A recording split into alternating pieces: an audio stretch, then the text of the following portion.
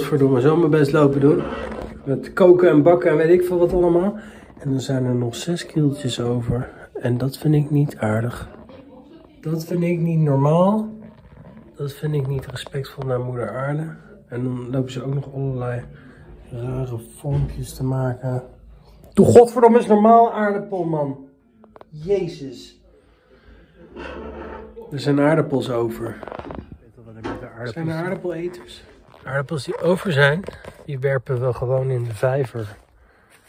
Want dat, dat, dat is wat wij met overgebleven aardappels doen. Kijk, hier is de vijver. Zie je de vijver of niet? Kijk dan even naar de vijver. Hier komt hij. Hoorde je dat? Dat zijn de aardappels.